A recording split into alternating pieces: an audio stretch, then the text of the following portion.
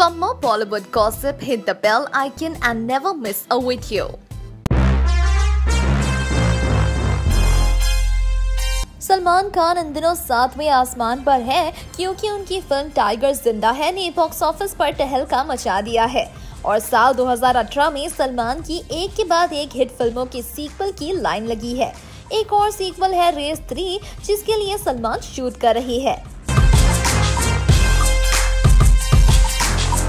सलमान चाहे कितने भी बिज़ी हो, अपने फैंस के लिए वो हमेशा वक्त निकाल ही लेती है।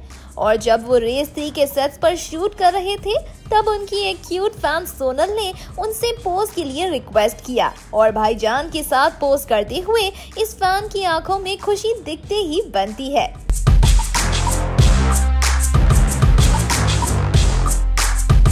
सोनल की इस सेल्फी को देखकर हम बहुत जेलस हैं और भाईजान का अपने फैंस के लिए ये जेस्टर देखकर हम उनसे और भी प्यार करते हैं। है ना?